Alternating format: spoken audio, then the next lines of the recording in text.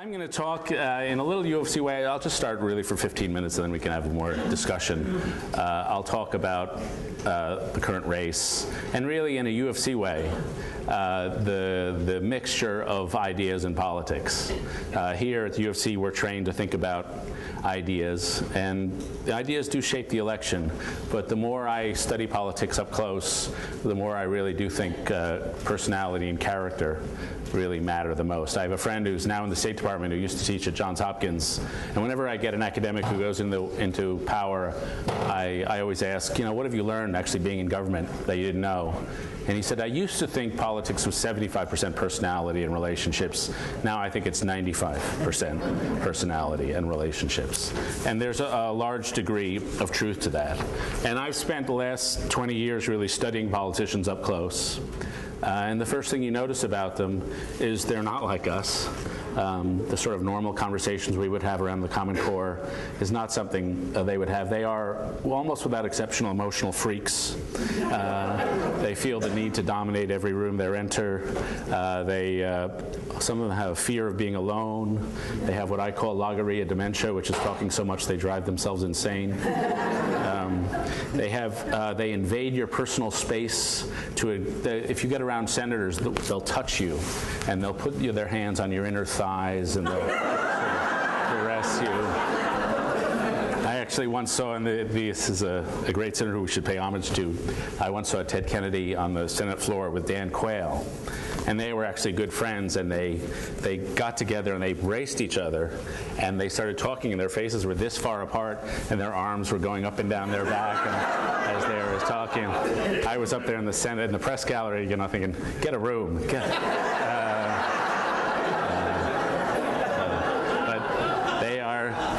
as some of us who went to the U of C were not necessarily people persons first, uh, they really are. Uh, they also have extremely large heads. If you look at senators, as somebody once said, what they have is not a head, it's a container for a head. Um, uh, but they also tend to be, and to be fair to them, uh, they tend to be surprisingly earnest in private. We think of them as strategizing politically cynical. I've met very few who are actually cynical, uh, who are leading politicians. Their lives are so miserable in many ways. The endless travel, the fundraising, the boring committee hearings. You actually wouldn't do it unless you thought you were serving the public good. And if you get them together, they're a very earnest group of people who will talk about some computer program that saved their state half a million dollars or, or did something. And so I, I think we journalists are more cynical than the politicians and then the voters are more cynical yet about, about uh, who they are. Uh, and then, but then they face challenges. They face these character challenges. The first is the intense partisanship in Washington. I was at the, something called the Civility Summit in Williamsburg, Virginia, where the Annenberg Foundation got Republicans and Democrats together to, to try to be civil to one another. Uh, and uh, I remember the Civility Summit because I got to watch 170 drunk members of Congress at karaoke night.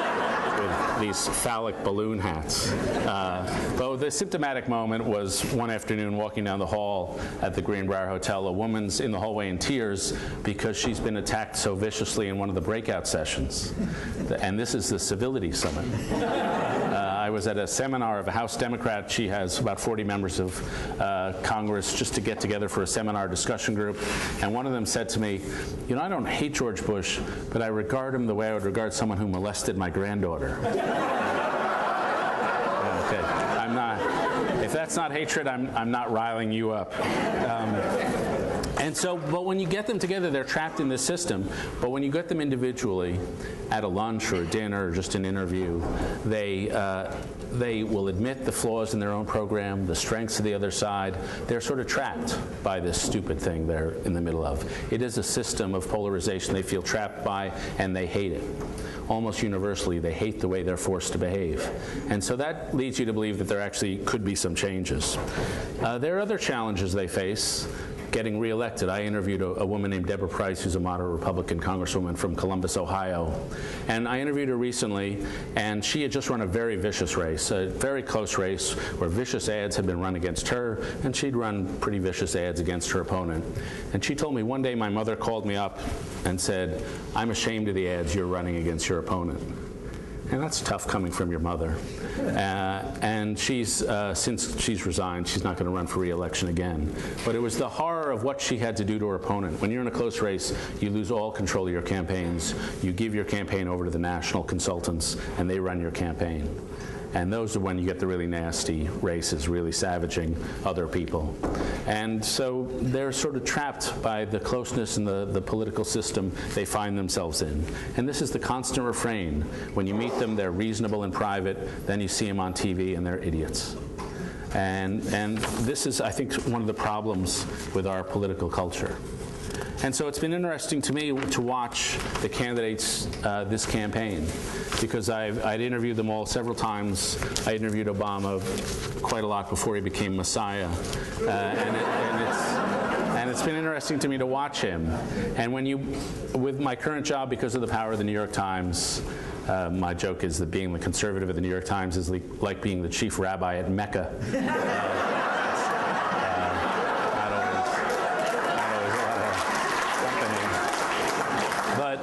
But with the Times, you get you get this you get this access.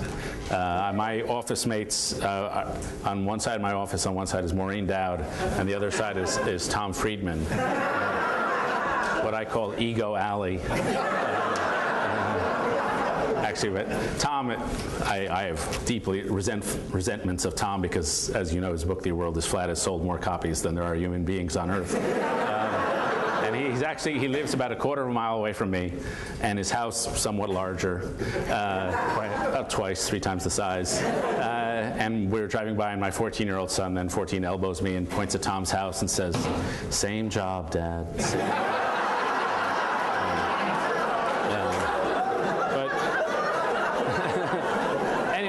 Because of the times, we do get access. And so I've had the chance to interview uh, these people and get to know them, not in the way any normal friend would, but in the way a journalist and a politician can get to know each other. And it's a reminder of the importance of character. With President Bush, I've interviewed him in the Oval Office probably half a dozen times, 10 times. And the first thing to be said about him is that he's 60 IQ points smarter in those settings than he looks in, in, uh, in public. Now, for some of you, that'll say, okay, it brings him up to 80. Uh, you know, if you if you ask about Russia, he knows about Peter the Great. He, he he's read books of Russian history. You can have a normal conversation with him. But the thing you get from him is the intense self-confidence. One interview, uh, sat down. He said, "David, I want you to know," and this was not long ago. I'm more convinced than ever that the decisions I made have been the right ones.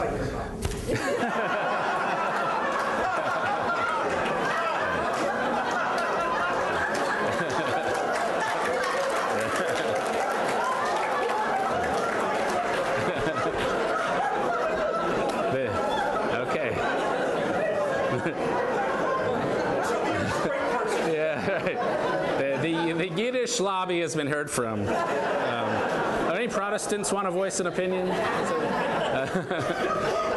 Uh, but the thing uh, you, that strikes you is when he sees the future, when he think, sees the job of a leader, he really sees it 50 years in the future. Uh, and he sees the job of the leader is to think way out there. And so he really still, when he talks about the Middle East or this country, he's thinking way out there. Next couple of weeks or months or years, not so interested. But that is, that is I take aside what you think of Bush and his policies, but that's an element of his, his mentality that would have import, been important for us to know in an election. And that's why I do think it's tremendously important to analyze. The other thing, which I think, again, this is not ideological, when you ask him about a policy he's been doing, say, uh, I was once in an interview with a colleague, a guy named Max Boot, who was writing for the LA Times, and Max is a military columnist, and he really lit into Bush on the troop levels in Iraq and the post-war planning. And Bush came back at him hard, and Bush's face turned red, and they really got in a screaming match. And but Bush kept saying, "I'm enjoying this. I'm enjoying this." A man who doesn't get to argue in the culture of his White House. Uh, but, but, but, we would ask, or Max would ask, uh, what about the troop levels? And he would say, well, I trusted General Casey, he's a good man. And so the, the attitude was, well, so and so is a good man, therefore he must have the right policies. And again, that's, that's an assumption that I think Bush was going to make, but it's something we should have known, that it, it's useful to know about. So when I look at the candidates now, I, am trying to pay close, close attention uh, to these sort of mental aspects of their lives. Now, with Barack Obama, as you know, when, when, he's, when he enters a room, and Hyde Parkers don't need to be told this, he, he's actually carried in by cherubs.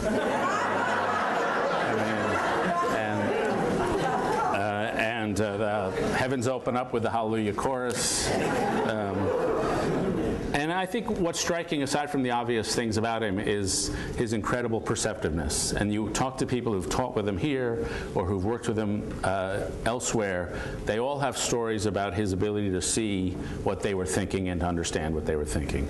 And my little story with Obama was uh, uh, one day a couple years ago, I was writing columns attacking the Republican Congress for spending too much money, and I would throw in a few sentences attacking the Democrats to make myself feel good.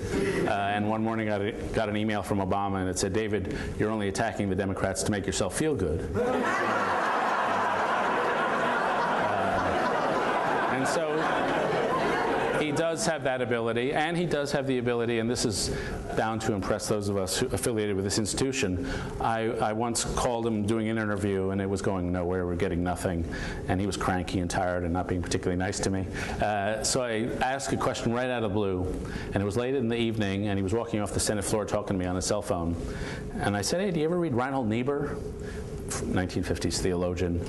And he said, Yeah. And I said, Well, what does Reinhold Niebuhr mean to you? And for the next 10 or 15 minutes, he did a complete version of Reinhold Niebuhr's thought, unbroken. And that's, that's actually quite impressive. Uh, and not only because it impresses the pseudo intellectual, but, but that works, uh, but because Niebuhr had a view of history which really was built on paradoxes and ironies the use of power, the need to use power, the awareness that you're corrupted by power. And, and so, you know, that is a skill that is rare in American politics. Now, if you want to talk about Obama's weaknesses, as most senators will tell you, Democrat and Republican, he's a mediocre senator at best. I, that's, to me, that's not necessarily a veto because being a senator is very different from being a, a president. Being an executive very different from being a senator but he didn't get that involved in legislation. On areas where he should have gotten involved, notably the immigration bill, uh, Ted Kennedy and uh, John McCain were hammering out the really the nuts and bolts of the immigration bill.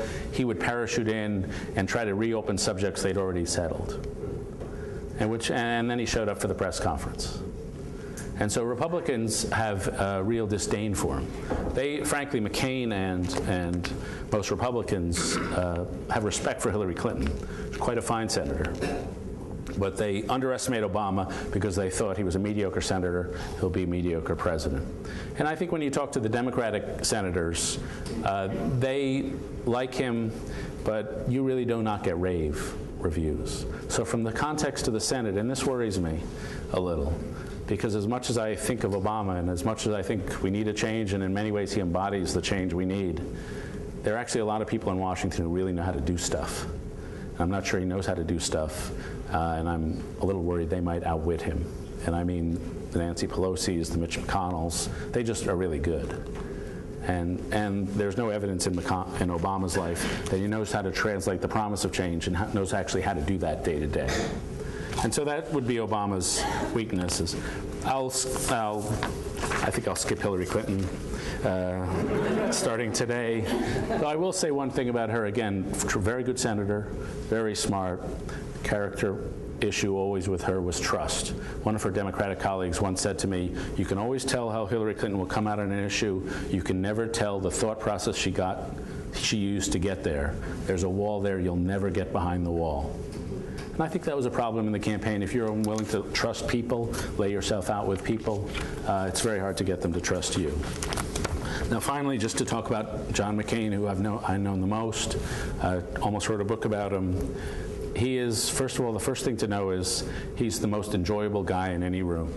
There's a reason the media was thrilled to be hang around him because he was just a barrel of laughs uh, to be around. He once took me to shoot craps at a casino. Um, There are not many politicians who will do that. I, I said, you know, how's the Christian right going to like this? You taking me to shoot craps? He said, oh, Bill Bennett shot craps. He was fine with it. Uh, was, it was, uh, we were going great. He told me where to put my chips on the table. We, I think I won $500 worth of chips, but because McCain is unable to sit still, uh, we got to the line, the cashier where you check out, and he was unable to wait in line because he just can't sit still. And so we left the casino, me with my little $500 worth of chips, so I lost it all. But I think his most outstanding quality is moral sensibility.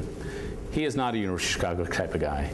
He's not an ideological guy. I don't think he has a big moral philosophy of uh, the role of government, but he does have an acute moral sense. Uh, and it's not a, it's, it's interesting, it's not a Christian moral sense. It's a pre-Christian moral sense. And I don't say that simply because he's older. Uh, because it's a, it's a classical, a classical stoical morality based on honor, courage, and loyalty. And if something strikes him as wrong, uh, he will go after that thing. But, oh, I, suspect somebody in the back leaned against a, uh, unless it, it's my Bette Davis moment. Uh, okay. Um, and so whether it's Jack Abramoff, Boeing, campaign finance, he is sort of a guarded missile. And to me, that's quite admirable. He will always pick on the dishonorable thing. Uh, that has made him not a great team player. Every Tuesdays, the Republicans have a lunch uh, where they set policy. It's called the policy lunch. They hand out a piece of paper called Message of the Week and all the Republican senators are supposed to parrot the message of the week. McCain sits in the back of the room making fun of the speaker. He'll take the message of the week, turn it into a paper airplane, throw it up. Uh, when Santor, Rick Santorum of Pennsylvania used to lead this, a particular target of McCain's, uh, you, you, did a great job with that, Rick. Uh, we're really doing great as a party. It was all the cat calling from the back of the room. and so that, on the one hand, is admirable because he is relentlessly honest. On the one hand, he resists organization and I do that would be my chief worry about him as president, is that the presidency is a team job, requires a lot of organization. Uh, he is incapable, as I said, of sitting still. He is an antibody of organization. That was true in the Navy, it was true in the Senate, and I think it would be true in the White House. It's certainly true in his campaign. He's the guy who takes off from the aircraft carrier and flies by night. Uh, and, and that would be a serious problem uh, for a McCain presidency. Now, so I, I personally think I love these two guys, Obama and McCain. They're my two favorite politicians. And so to me, watching them fight is like a divorced kid watching his parents go at it, uh, each other. Uh, and, uh, and what really bothers me is they really detest each other. Clinton and McCain really liked each other, respected each other, would have loved to have run against each other. McCain thinks Obama is a lightweight who hasn't done anything. Obama thinks McCain is a pompous hypocrite. And so I, I, wish we could have a great campaign over the next few months, but I really doubt it because that personal dislike just bubbles forth. Now, to me, the, you have two great men, I think, two very fine and very admirable men uh, who are running for president. But to me, and then I'll just finish with this, this is the determining factor of this election, which is the idea factor. We had, a, I think, a conservative era from 19, uh, 1980 to 2006, but it's over. Some of you may know the story. I've told this in public too many times of me sitting in the, or actually me sitting in the Chicago Maroon office writing a parody of William F. Buckley's life and then him coming here and hiring me. Uh, I, will tell that story if requested, but I've overdone it. But I went to work in National Review and really got to see the conservative movement at its height in the Reagan era. Now it's there are a lot less oddballs, but a lot more sleazeballs in the movement. It was very good in dealing with the problems of the 1980s of communism, of crime, of economic stagnation. It is now intellectually moribund, has done very little work on problems like income inequality, middle class squeeze, rise of China and India, uh, domestic reform. It's really, it's really interesting to watch a movement that just runs out of steam. Liberalism, on the other hand, is, uh, has got a coherent body of work around, especially around subjects like income inequality and wage stagnation. Groups of books, articles, scholars, all saying essentially the th same thing who Obama can draw from. And so you see the tides shifting. I frankly don't think we're going into a, a liberal era because though the Democratic Party has all the tides and the Republican Party is, is really collapsing, the Republican Party has aged 10 years in the past three. Uh, that's because they're losing pretty much everybody under 30. But intellectually, the country wants a change, but their suspicion of government is still as high as ever. Their suspicion of taxes is still as high as ever. So when the Democrats take office, they will find themselves with a country which is recalcitrant about a lot of their policy views. And they will also find themselves with a series of underlying issues which uh, they will be immobilized by and will have trouble dealing with. The most important is Iraq. Believe me, we're not getting out of Iraq in the next three or four years, no matter who's elected president. The second most important, or most important domestically, is the budget squeeze. The, the amount of bills coming due right now is already being felt. The amount of money that you can tax or spend is really minimal. And so these will be severe governmental challenges. Nonetheless, let me finish there to get uh, your comments, discussions, and comments on Plato. But uh, if, if we are going to have a, a Hyde Parker, um, it's better him than most of the professors I actually had. Thank you.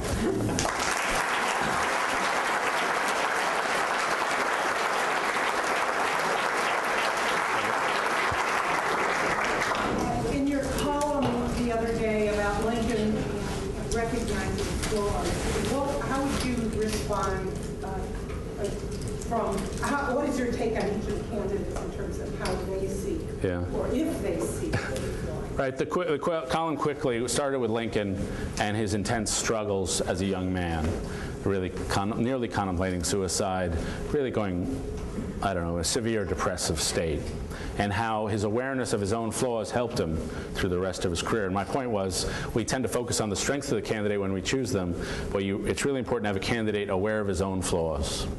And so I, what I didn't write in that column, but I hope to provoke, was, well, of these two, who are aware and who is not aware?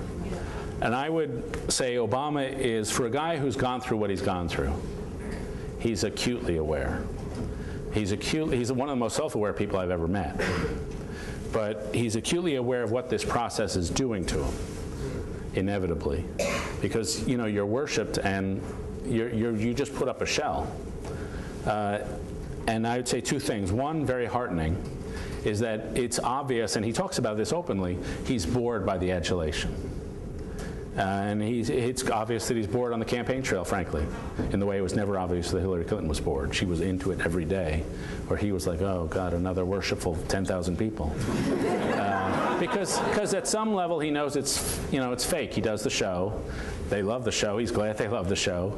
But it, it's just not new and interesting to him. And I, I sort of respect that self-awareness. I think the second and third thing to be said is, one, has incredible self-confidence and maybe disturbingly high self-confidence. Uh, and third, you know, and I think this is fundamentally the reason he hasn't connected with people without college degrees. And the, I was going to talk about the demography. The demography of this election is starker than any I've ever seen. And I think one of the reasons is part is race, that's obvious. But part is they look at him and they see the struggles of their own lives and they think, what has that guy ever struggled?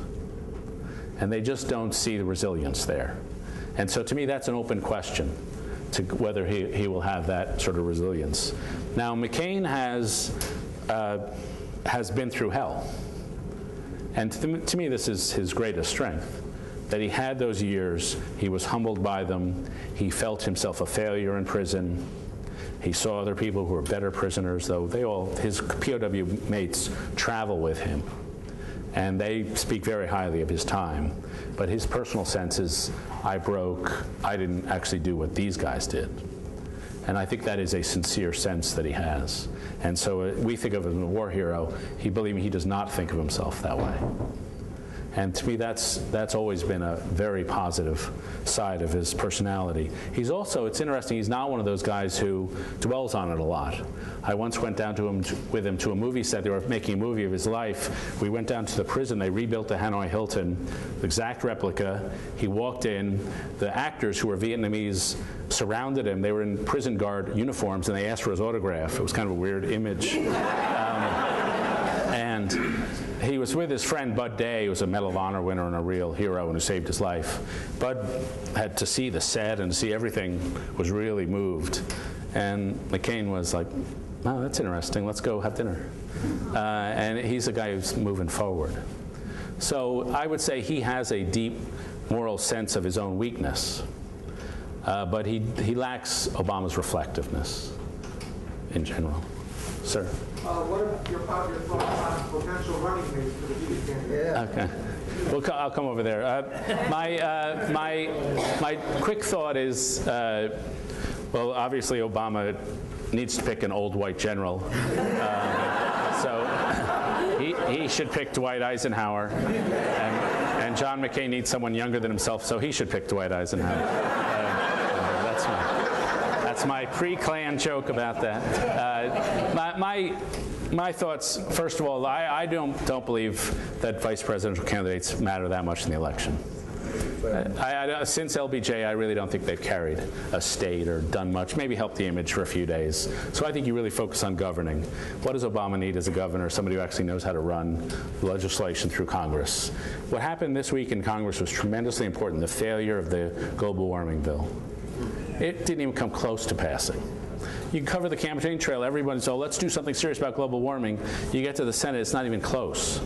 So he actually needs a legislative engineer. To me, that would be a guy like Tom Daschle, who shares his temperament and personality, or Sam Nunn from Georgia, who might be a little getting a little elderly. As for McCain, as I said, he resists organization, so he needs someone who cares about domestic policy and is super organized. And there's a guy named uh, Rob Portman from Ohio, who was the budget director and a congressman for 10 years. And then the other thing he needs, he needs a connection to the working class which has always been the heart and soul of the Republican Party. And the guy who I think is best at that is Governor of Minnesota, Tim Pawlenty, who's the intellectual author of something called Sam's Club Republicanism. Let's not be for the country club, let's be for Sam's Club. Republicans won uh, the white working class by 24 percentage points last election. If they lose those people, lose touch with those people, uh, they've, they're finished. Uh, and so he, he needs someone who really is connected with that. One of the odd things about this election, we have two candidates, never have had two candidates so removed from what you might call middle class suburban life. McCain's been part of the military aristocracy for generations. Obama's had this very unique life. But in terms of somebody who's lived in a suburban middle class home, gone to Applebee's and TGI Fridays, they don't have it. They don't have that, that instinct. And so uh, they both need some connection with that. Yes, sir. I think uh, race is going to be very important, I guess. Uh, Americans like to tell themselves the story that they are moving beyond race. And I, I wonder if it's your perception that we may be able to congratulate ourselves that Obama has become the nominee for president, but it will work, race will be defining element that might defeat him as president. Yeah. This is uh, something we talk about a lot, and there's no evidence. Because there are a few people who will say, I'm voting on race, but relatively few. And so you're defining how much is race really a factor, you're guessing. And I will say among the pundit class, uh, I'd say 80% of the white pundits think that race is on balance a plus for Obama.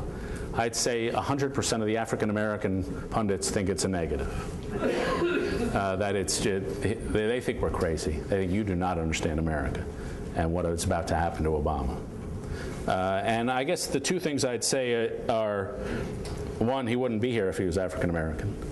So it got it was a help to some extent. It's clearly a help with a lot of moderate Republicans who, even after he won the nomination, you could see were thrilled by the prospect that an African American could get a nomination of a major party. It's clearly hurt him in Appalachia. If you take the that swath of, of, uh, of America settled from New York State down through Ohio, Pennsylvania, West Virginia, Kentucky, Tennessee, down that swath, the, the, the margins were so lopsided against him that it just had to play a big role. I, it's hard to know on balance whether he's helped or hurt. My personal instinct is that he's helped. That people, he, he, he not only talks about change, he embodies change, and that's part of it. And so I think on balance, uh, he's helped by, by his, his race, but I could be wrong. Uh, let's go right here. then I'll go back. Right. Um, can you talk a little about the candidates, kind of their breadth of interest? The- Obama wants to really focus on the economy and some domestic issues. McCain very much on national security. But what's your sense of kind of how beyond those areas are these? Are they really interested in kind of all the challenges facing America, or do they really have those specific things and maybe will delegate the areas that they're not focused on? Yeah, I would say they, the one thing they both care about passionately together is changing the political structure in Washington. they both care about that process issue. And I think that's important because underneath all the other issues that we've come up in the campaign, it's the crisis of authority that is really why the country is so disillusioned. A belief that our institutions really can't function, that they don't move, they can't do anything about anything, whether it's health care, and, and they're right to put that first. Both really care. As to what else they care about most passionately, it is simply true if you spend four hours with McCain, you'll spend an hour talking about Ted Williams, uh, an hour talking about history, some biography, a little time talking about short stories. He reads Flannery O'Connor, big short story guy, and then a lot of time talking about foreign policy. And you can mention any subject in the world. He's been there, he knows the leaders. But then when you talk about domestic policy, the, the glaze, the eyes glaze over. And that is just true of McCain. Obama, I think, is more universally conversant in all these subject areas. Uh, and so I guess Obama's interests are, are broader than McCain's. Uh, whether he, the fact is though, and this is the key of the being of the Senate experience, being a senator, a very good senator, means having what Ted Kennedy has.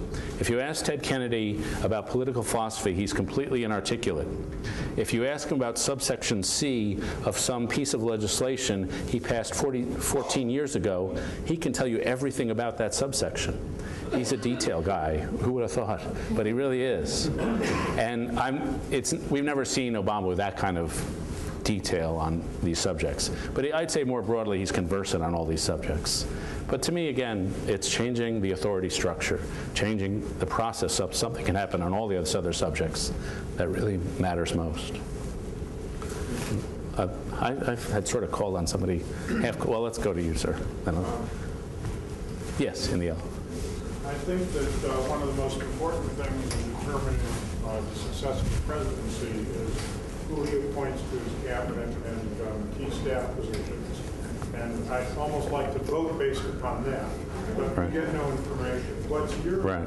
reading of uh, how they may um, go through the available people and the Right. quality um, of the people they choose? Well, uh, first, I want them to pick good cabinet people.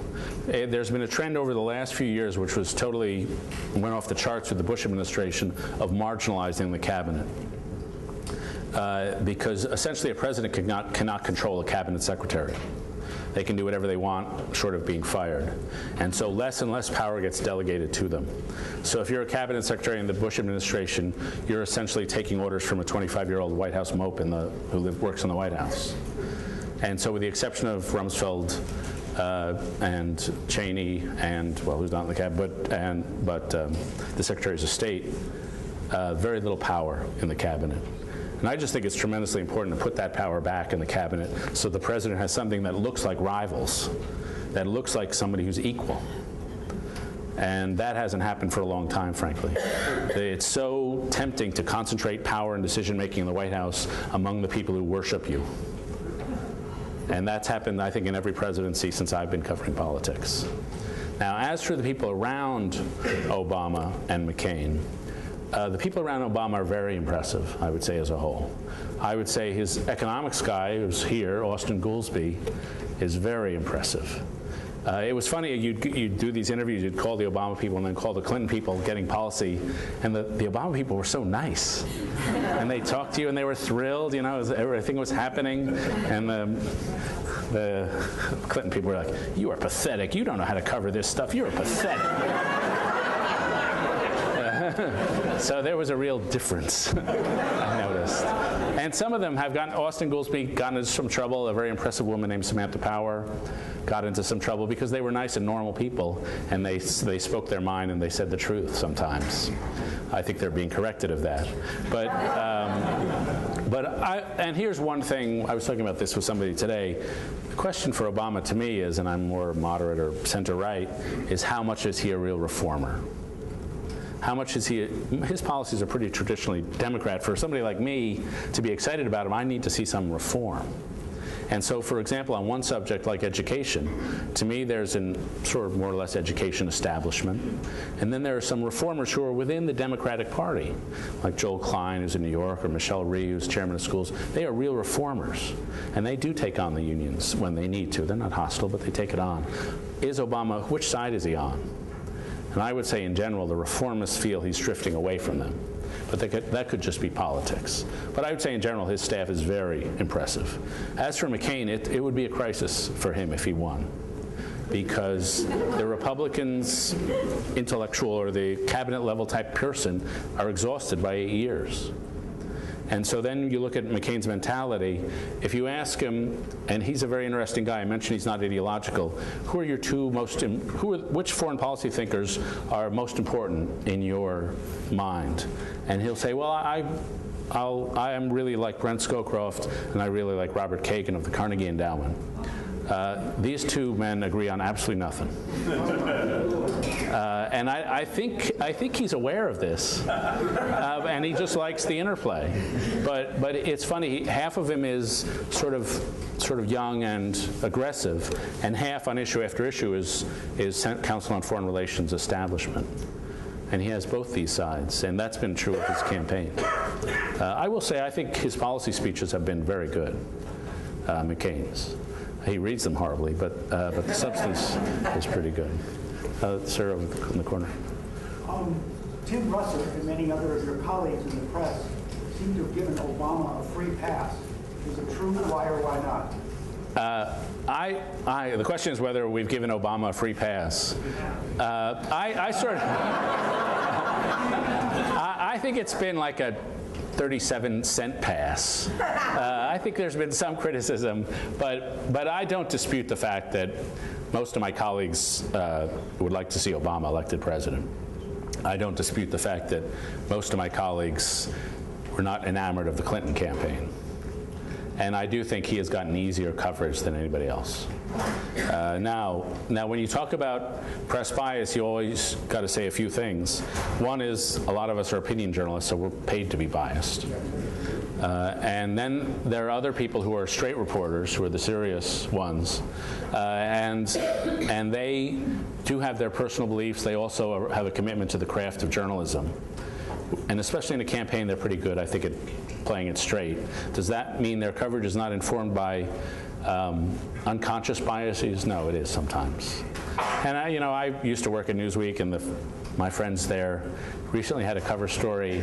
It was about the pristine Obama trying to run a fall campaign that was redolent of, or resonant of, uh, sort of Socrates talking to Plato, or you know, and then these mean Republicans were going to uh, undermine all that with their nasty tactics. And that, that is a storyline you hear. Uh, but uh, the, the only other thing, I, so I do think there is a bias. But again, one, one final general point on, on press bias. I, a couple years ago, I went to a conference of sexologists at Michigan State University. A more boring group of people you never want to meet. But uh, one of the things I learned from them was that the media coverage of sex changed tremendously in the 60s and 70s, as you'd expect. But actual sexual behavior didn't change all that much actual sexual behavior changed after World War II and World War I. It was the actual experience of going to Paris uh, that changed things. And the, the lesson, uh, the lesson of that is the media can do a lot, but that doesn't mean it has a huge influence on the way people vote. Because believe me, among my colleagues, there weren't a lot of Bush supporters, and the guy won two elections. So let's. It's, is that the Oiga Vault caucus? Man. Um, Iran is being touted as the new foreign policy hotspot, and I was wondering if you could speak to the two different approaches that are taken by Obama and McCain, and what your thoughts are on the like, merits. Yeah, the, the question was about Iran and the merits of the two approaches on that. Uh, in my view, equally bogus. Um, I, I've I spent two weeks interviewing policymakers, American and European, on Iranian issues, and then I listened to the campaign, and what struck me was how completely separated the two are. McCain and Obama are involved in this fight. Do we talk to Iran? Do we not talk to Iran? And that, they, uh, under what context? And believe me, if, if it's Obama, he's not going to go meet with Ahmadinejad anytime soon, no matter what he says at a debate. If it's McCain, if the opportunity to talk comes up, he will talk to them. So these two postures, this is a false polarization. The issue with Iran is A, who actually runs Iran? And believe me, having had background conversations with a lot of policymakers, we have no clue. We know there are all these different factions. We have no idea how they're actually making decisions. There's a general sense that Iran itself doesn't know how it, how it, how it's run. That one policymaker likened it to uh, the Soviet Union in the 30s and 40s. Part of it was this ideological regime that wanted to spread this ideology around the world. Part of it was just a traditional great power and it hadn't quite made up the mind whether it was a great power or an ideological cause. And that's somewhat where the Iranian regime is at right now. So they don't know. And you could talk to Iran all, all they want, but until they make up their mind, they're not going to fundamentally change. And then the final thing is, is when you talk to the policymakers, how much their hands are tied. Their idea is, we don't know what'll work, so we are willing to try anything. The Americans were not thrilled that Israel and, and the Syrians met in Turkey, which was really all about Iran. But they said, let's try it. We'll try anything. And so when you talk to the policymakers, what you meet is their admissions that they're ignorant, their sense that they have no real leverage to stop Iran from getting a nuclear weapon, and their, their willingness to try absolutely anything. So you've got complete pragmatism at a very weak level. And then you go on the campaign trail and people are talking about one policy or another that is supposed to change things. And it's just, it's just not going to happen. I will say one final thing. When you go to the Middle East, and you, especially in the Arab world, they are so exercised about Iran. Uh, it's really striking to me the, in the Sunni nations in particular. And it's not the Iranian nuclear program, which they're, they don't really care about, but it is the Hezbollah, Hamas, the Hezbollahization of various militia groups in the region, which really threatens them. And you really do get the sense of a country on the march, a country that is gaining gaining strength week by week, and those of us who are in the moderate camp losing strength week by week. It really is tremendously startling to, to hear them talk about it. In the back, sir. Um, two questions, David. Um, one, do you see any strikes or similarities between like 52 and 56, where you have this U.S. senator from Illinois, this patrician, and like many people in the country saying, okay, he makes me look stupid. Yeah. Maybe elect this person, and Yeah. with Obama making the president. Secondly, who's taller, you or Fred Barnes? Uh, Fred is surprisingly tall.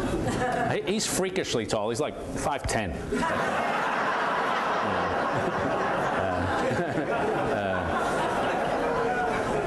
uh, Mark Shields and I are the same height. People, people I, somebody said to me today, people always think I'm much taller because I'm sitting down. But Jewish guy went to U of C. What do you, what do you expect? Um, uh, did you have another question?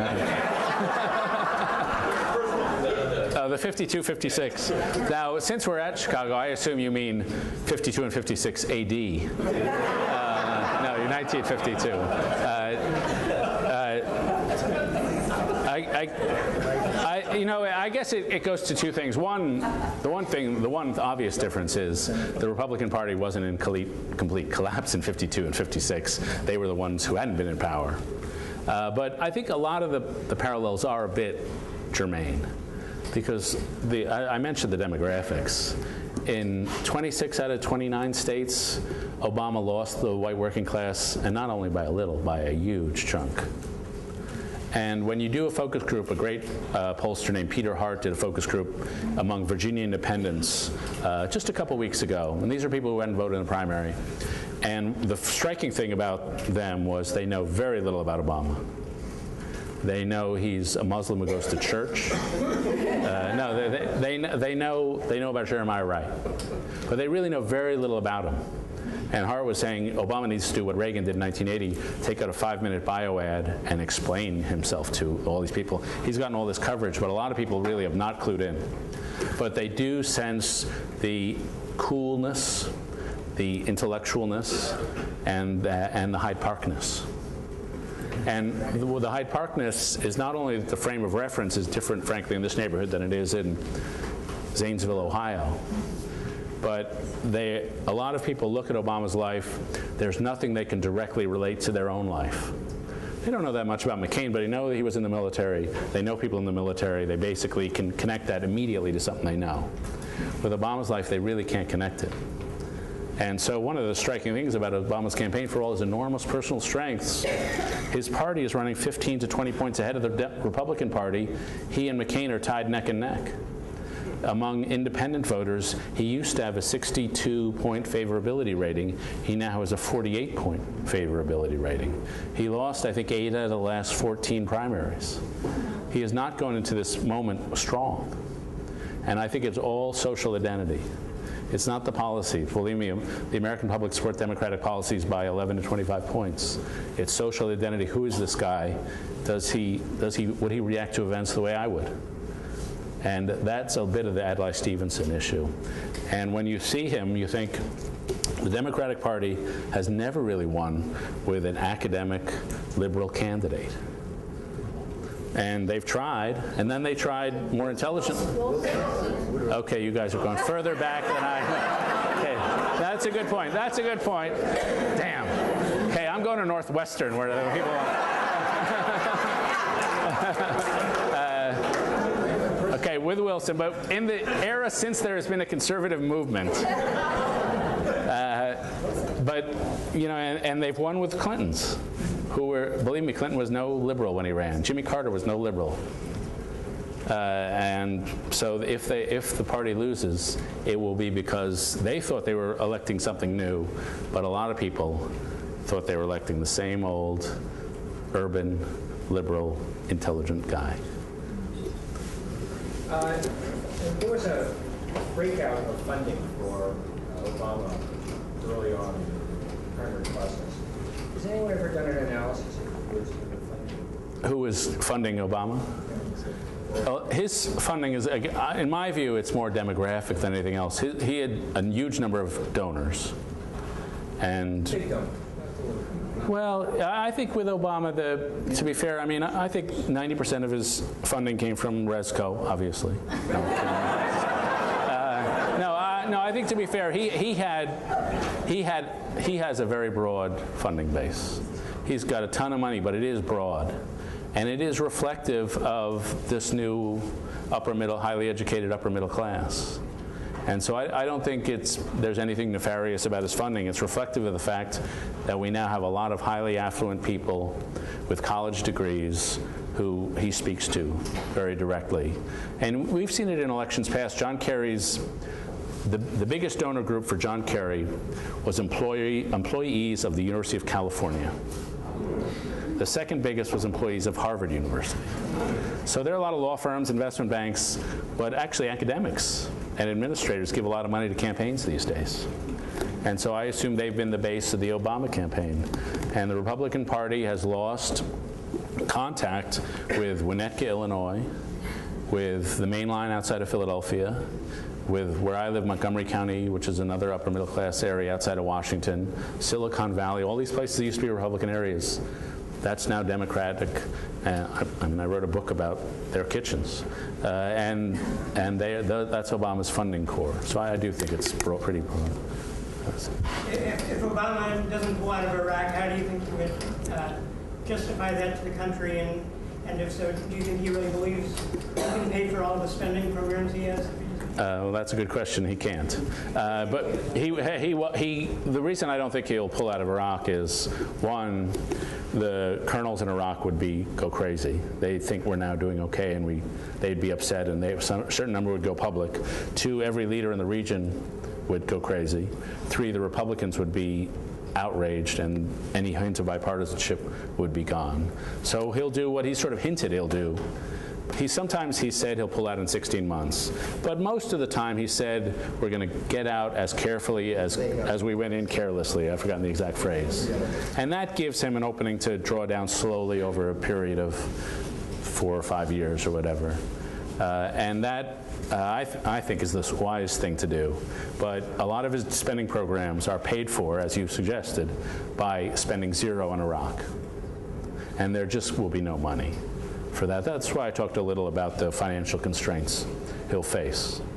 Uh, And those financial constraints, you can talk to the director of the Congressional Budget Office. They're already severe. And if the economy continues to do what it's going to be doing, they'll be quite severe. And so it's not as if there'll be a lot of money. And and his first priority will be health care, and that which will be quite expensive. And that'll take whatever money I think there is from the tax hike on the affluent. So I I don't think there'll be much money for anything else, uh, part- for partly that reason. Ma'am in the aisle, did you have a question? Yes, back to the press. Uh, Was the press anti-Hillary or pro-Obama?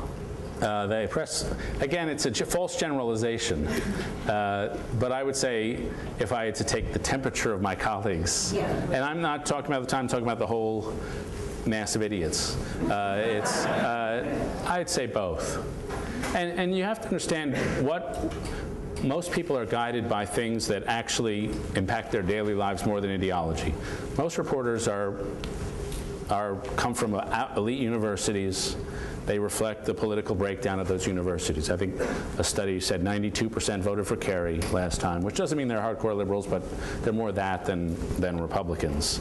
But they also like to be treated with respect and, uh, and, and well, they like to be treated with respect. And as I mentioned, press relations between the Clinton campaign were horrible. They were constantly screaming at you and spinning you and insulting your intelligence. The Obama people were not open. Obama's not an open candidate. He's not transparent. Spends very little time with the press, but the people are nice. Uh, and you get the sense there's some genuineness there.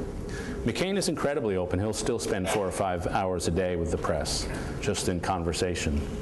Uh, so, but, so there was, there was some, uh, there were opinions, but again, I don't think that determined the election, the primary election. Uh, sir, in the middle. Why would McCain challenge Obama to a debate? A series of Right. Well, there are two. There are a couple of reasons why McCain would challenge Obama to a series of debates. The first and most important in McCain's mind is he does town meetings. That's all he does, basically. When he comes out, he does a very short speech, which he's not good at. Then he does a town meeting. And in the town meeting, if somebody gets up and disagrees with him, he hands the microphone back to that person, and they'll go back and forth four times, four or five times, arguing. And he likes doing that, and it's actually one of the more effective things he does until he calls him a little jerk and tells him to go away. No. Uh, and- but he's good at that. He's quite poor at giving a set speech. The Obama uh, method, of course, is to do the big rally generally, have very little question and answer. So the McCain analysis is I just do this better. So we want him in my format. Uh, and I think they're somewhat right about that. I think they, as someone who's interviewed Obama several times, I think they underestimate how good he is.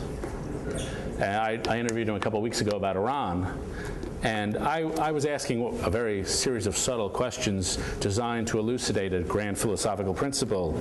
And, and after three questions, he said, Let me tell you what you're really getting at. that, that literally happened. and so he's, he's not a law professor for nothing. But on the other hand, and this is a weakness of mine, it could be the, exactly the skills I like that a lot of people don't like. Uh, that he's a law professor, I think that's great. A lot of people think he's a law professor, that's horrible. Uh, and a lot of them are law students who think that. Um, but the, the, other, the other thing to be said is McCain had a pretty good fundraising week, uh, month, but uh, he has no, nothing compared to Obama's money.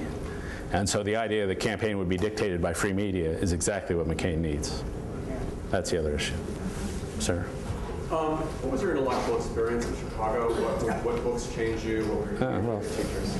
Thank you for being interested. Um, I, I was, um, I grew up in Greenwich Village in a somewhat left-wing household. My parents were professors, part of the Think Yiddish, Act British tradition. Uh, and I actually, uh, went to Grace Church School, and if you anybody know, right next to the Strand bookstore. I was part of the all Jewish boys davening choir. And the one story I tell about my childhood when I was five, my parents, who were more left than right by a little, uh, took me to a be-in in Central Park where hippies would go just to be. And as part of their being, they set a garbage can on fire and threw their wallets into it to demonstrate how little they cared about money. And I was five, and I, I saw a $5 bill in the burning garbage can. And I reached in and grabbed the $5 bill and ran away. And that was my first step over to the, to the right. But but the uh, I, I, so I was a pretty traditional uh, liberal and called myself a democratic socialist. And actually, while I was on campus, I debated Milton Friedman for a TV show where I was the student he argued with. Uh, and I was the socialist, and he would destroy my arguments in about six or seven words. And then the argument, the camera would sort of linger on my face with my mouth hanging. but I was assigned, and to me in, in college, the Common Core was the, by far the best thing I did easily the best thing. And I was assigned a book uh, in political order and change, and I think we have a classmate here. I was assigned a book by Edmund Burke, Reflections on the Revolution of France. And I hated that book. I, it moved me to rage, and I actually have my copy, and I was looking at it a few months ago for something else, and I see my idiotic little scribblings about what an idiot Edmund Burke is. but over time, that book actually really started a turnaround for me. And every time I've deviated from Burke, I've been wrong. Uh, supporting the Iraq War was a deviation from Edmund Burke. And it was that Common Core experience uh, which was tremendously important. I, unfortunately, being a smartass, thought I should take graduate courses in my third and fourth year, and I've forgotten everything about them. I learned a lot of historiography, but no history. Um, but that Common Core was tremendously important. Western Civ was tremendously important. Thucydides tremendously important. Uh, and then finally, one professor leaps out who was my thesis advisor, a guy named Neil Harris, who I think recently retired. A very, a very good history professor and really helped me out with a model of how to think about history and how to think about American history. There are a few others. It's funny, I'm sure we all have this, again, because I was history. Arthur Mann was a very good professor.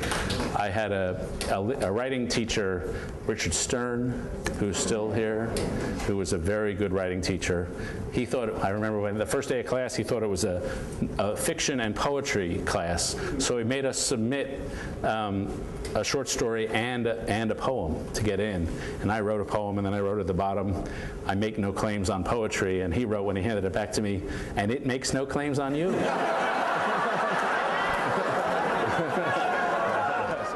I'm sure we, it's funny to think we should all spend a little time thinking of the few personalities that really rise out. And it's a lesson for education that you don't really remember the content of what you're taught, but you remember the teacher. Uh, sir. Um, have you talked to Senator McCain or Senator Obama about what type of Supreme Court justices uh, request them? What types they would be likely Yeah, I confess that's it's not a subject I write a lot. A lot. I don't know it very well, so I, I haven't asked them about that subject. I think if you're, uh, I think Supreme Court Justice Hillary Clinton would be a shoe-in, but. I, I confess it's just not a subject I know about. Uh, sir in the green. Oh, ma'am. Um, I volunteered in Obama's uh, Texas organization, and I was greatly impressed by his organization. It seems to me to be far superior to anything I've seen in any other political campaign in many years. Do you feel that that will help him uh, in the Right. election? The question is whether his extremely well-organized campaign will help him as president. And it was a really well-organized campaign. And a couple of journalists and I sat down with Mark Penn, who was Hillary Clinton's campaign manager, just trying to ask him, you know, why didn't you read the rules that caucuses actually matter? You get elected from delegates. Caucuses actually matter. Shouldn't you care about them? And you just couldn't get past. There was no answer to that question. And meanwhile, Obama, I think because he's a political organizer, I think because of David Axelrod, uh, he really superbly organized campaign. It helps when people really, well, people really cared about Hillary Clinton, to be fair. Her people really cared about her and were super committed. But they were just, Obama people were just better. Now, I think it's a good sign, but not a great sign. Uh, and I say that because I covered the George W. Bush campaign.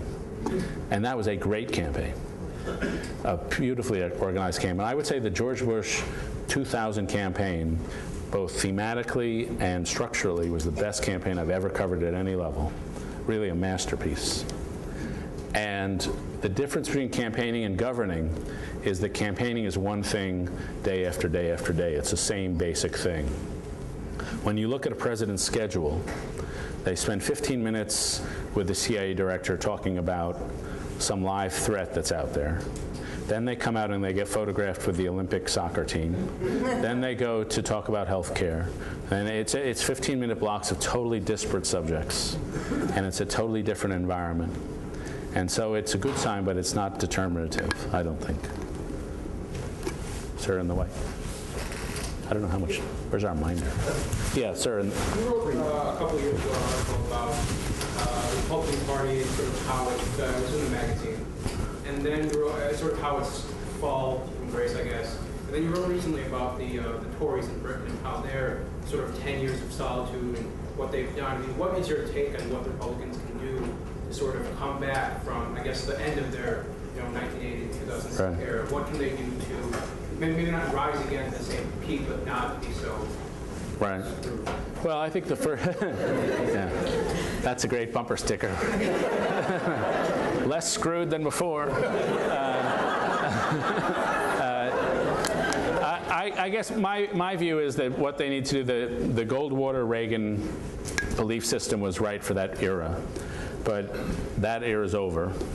And it was a little too libertarian, I think, for where the country is. And that there's a neglected tradition in American politics that begins with Alexander Hamilton, goes through the Whig Party, Lincoln, uh, Teddy Roosevelt, and then sort of dies. And this is a tradition that believes in activist government to help people compete. Not a, not a big government to shield people from competition, but an activist government to help people compete. In the 19th century, the examples of that were in the Lincoln's era, the Land Grant College Act, the railroad legislation, the Homestead Act, all of which created the means for people to be competitive entrepreneurs. But using government, and Hamilton used government to do that, to arouse the energies. So to me, for, for the Republican Party, one issue, and this is a pet peeve of mine, is that it seems to me the natural debate in, on economics, say, in this, in this country, is between people like Andy Stern, uh, the union organizer, who think that basically the problem with the economy is the globalization is cutting wages, uh, and that we have big structural problems on the labor markets. We need much more unionization. We need to control globalization, uh, and we need really major, major market reform. That's one side of the argument. It seems to me the other side of the argument, which should be the Republican side, is that the global economy is basically functioning, that our problem is not fundamentally globalization, it's the movement to a skills economy and the need for education.